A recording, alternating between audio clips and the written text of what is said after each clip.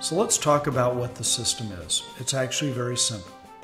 The system is used by the elite universities, the wealthiest families in the world, to manage their money. And I'm going to reveal it to you right here.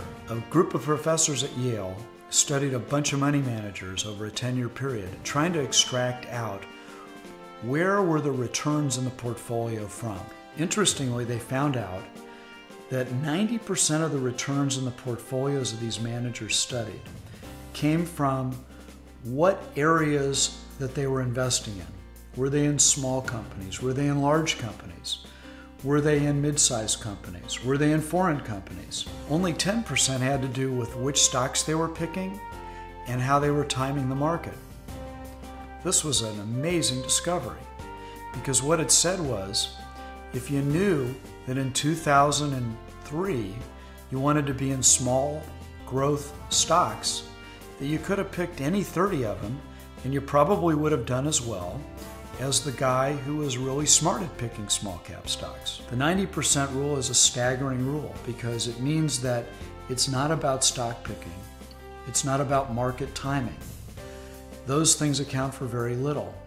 It's all about where you're placing your investments. If you go to the MarketRiders site, you'll see a beautiful chart which shows all the different types of markets you could invest in and which did best over the last 10 or 12 years. There's a great expression, again from Warren Buffett, where he said, Seers and fortune tellers have always been a highly paid profession.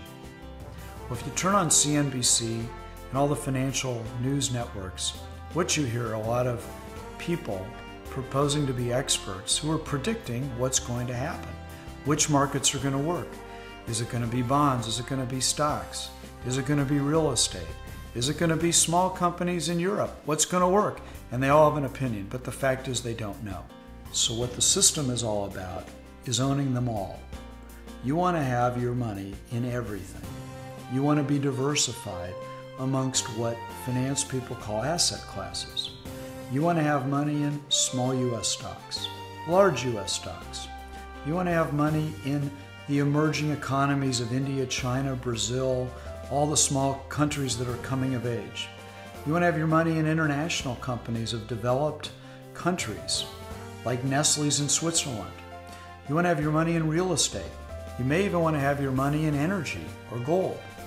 But the point is, in a given year, you're never going to know what is going to appreciate and what is not going to appreciate as much.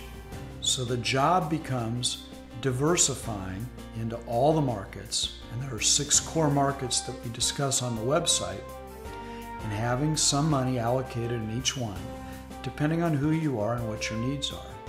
And that way, you simply ride the ebb and flow of those markets instead of trying to figure out which one is best at a particular time. The fact is, none of these people know what kinds of stocks are going to work, what year, and what isn't going to work in another year.